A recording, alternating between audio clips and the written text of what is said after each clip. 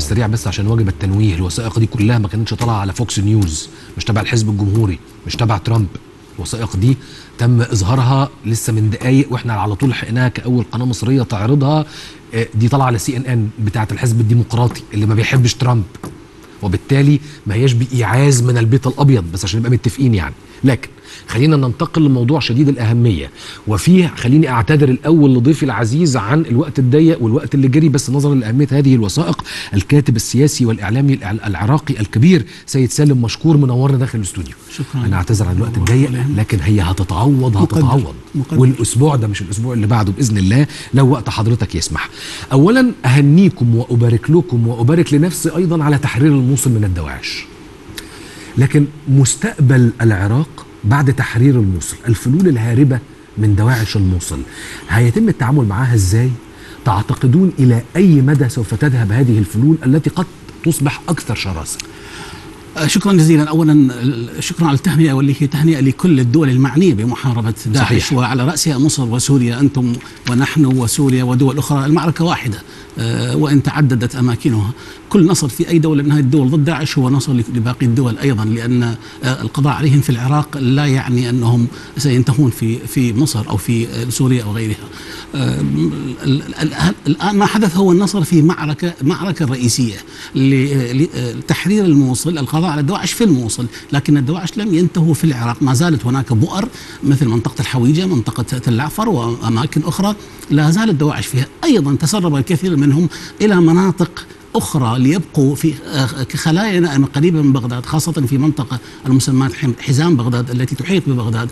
هذا هذا يعني أن ما ما حدث هو حسم عسكري في المعركة الكبرى لكن هناك معارك أصغر لكن الملف الأمني سيأخذ وقت وقتا طويلا ويحتاج إلى جهود كبيرة أيضا ل- من أجل إنهاء وجودهم تماما في- في ال- العراق. طب إيه تعليقكم على آه، تصريحات نائب رئيس العراق سيد إياد علاوي بأنه قطر تبنت مشروع مشابه لإيران بهدف تقسيم العراق طائفيا وأنه حان الأوان لمواجهة صريحة مع هذا التقسيم الطائفي ومواجهة صريحة مع تبني قطر لهذا المشروع؟ بالتأكيد قطر كما دول أخرى تبنت موضوع ال- الحشد والتقسيم الطائفي، الحشد الطائفي والتقسيم الطائفي داخل العراق آه، ساهمت ودعمت هذا التقسيم. آه، أنا يعني آه، دائما أفكر أن عشرات المليارات من الدولارات التي صرفت في دعم حركات وفي عمليات تقسيم الدول وتدميرها ووصلت إلى ما وصلت إليه اليوم كما نرى جميعا لو كانت أنفقت في آه، مشاريع تنموية ومعالجة الفقر ورفع مستوى التعليم آه، لهذه الدول لكانت قلوب عشرات ملايين ال- ال- العرب الآن معلقة وهي التي تحتضن هذه الدولة أو تلك ممن دعموا الارهاب. طيب يمكن وأنا وأنا وأنا بتكلم على مسألة رفض فكرة أي تقسيم طائفي أو على أسس مذهبية بي بي بيجي وإحنا بنشتغل على الحلقة وأنا قاعد عمال بحضر على الحلقة صدمت في مجموعة من التصريحات. تصريحات كان فيها مذهبية أو طائفية ما يعني لقيت تصريحات لقاسم سليماني وهو طبعا معروف هو قائد فيلق القدس بالحرس الثوري حول إنه هذا جاء ردا على أحفاد عمر ومعاوية. لقيت تصريحات بقى أخرى يعني عندي قيس الخزعلي عندي هادي العمري عندي أبو مهدي المهندس وما إلى ذلك. تصريحات كانت لا أظن انه هذا موضعها ولا هذا وقتها ولا هو المطلوب. يعني لا نحن نتحدث عن تحرير مكة والمدينة ولا نتحدث عن حرب على أحفاد معاوية ولا على أحفاد عمر وأبي بكر. نحن نحرر وطن. نحرر أرض. هذه التصريحات قد تذهب بنا إلى أي مدى؟ اولا لا لا أدري مدى مصداقية هذه التصريحات. يعني المصادر التي نقلت تعرف أن أن أن الوضع ي- يحتمل الكثير من الافتراءات ونسبة الأقوال إلى الأشخاص. لكن بعض التصريحات يجب أن تؤخذ في سياقها عندما يقال مثلا أن هؤلاء أبناء الحسين وأن هو ليس المقصود هو موجه ضد أحد طائفة أخرى. آه، يزيد هل يكون هل- كان يمثل ال- ال- ال- ال- المسلمين السنة؟ لا ابدا، لكن من مدرسة الحسين باعتبارها مدرسة ثورة ضد الظلم وضد من أجل العدل، وبالتالي هذه رسالة كل مسلم وبنهايه في خدمة كل مسلم ولا تخص طائفة دون أخرى. جو الشحن الطائفي يضع هذه التصريحات أحيانا في سياق معين ويستخدمها من أجل آه، كما تفضلت أنت من كثير من الأطراف تراهن وتستغل هكذا التصريحات من أجل أن تزيد من الشق والهوه الطائفية والمذهبية بين أبناء الوطن الواحد. هناك خطة ما كشف عنها المجلس الإسلامي في العراق للوصول للتسوية بالعراق على خمس آه، مراحل تسوية م- إيه هي تقريبا لو نقدر نقول عليها قلب هذه الخطة أو خطة التسوية ورأيك في هذه الخطة إيه؟ يعني هو مشروع التسوية مشروع المصالحة أطلق عليه مشروع المصالحة لكن أعتقد أن انتهى الحديث عنه في فيه الآن.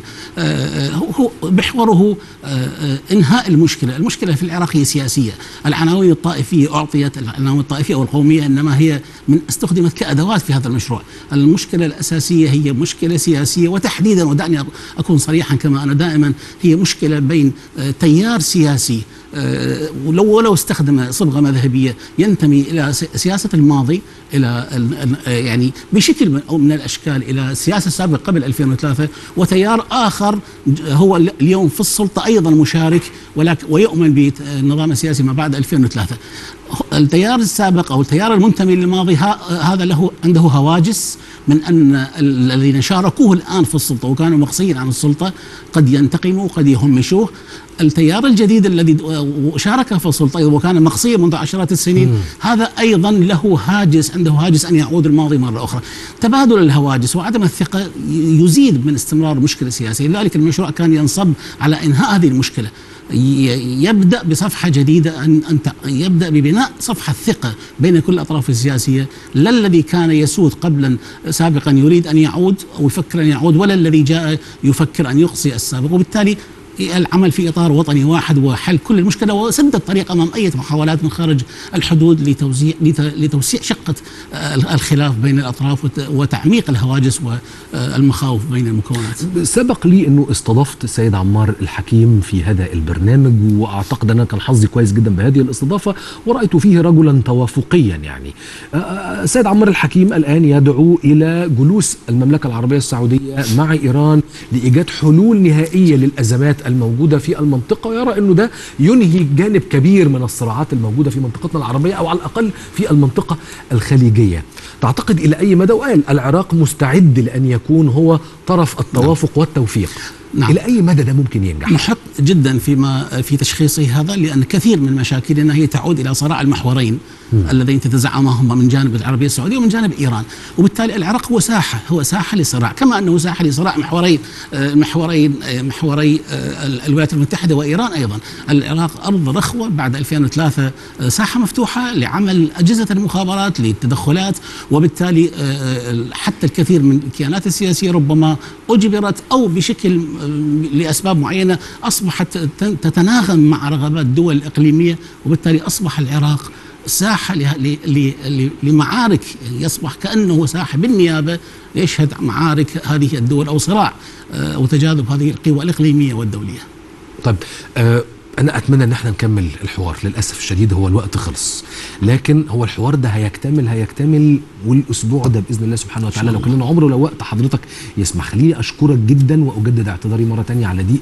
الوقت شكرا جدا جدا جدا للكاتب السياسي العراقي والإعلامي العراقي المعروف السيد سالم مشكور. شكرا جدا على وجودك معانا. أنا أدعوكم تاني إلى إنه نتابع يا جماعة هذه الوثائق التي تم تسريبها من قبل معارض قطري إلى شبكة سي إن إن الأمريكية. واللي كان لينا حظ إن إحنا لحقنا وعرضناها كأول قناة مصرية وأول برنامج مصري على شاشتنا أون لايف وبرنامج بتوقيت القاهرة. نترككم مع تسريبات حول اجتماع مجلس التعاون الخليجي الذي أقيم في 23 نوفمبر 2013 والذي وقع عليه صاحب السمو الأمير تميم بن حمد. اتفضلوا يا جماعة.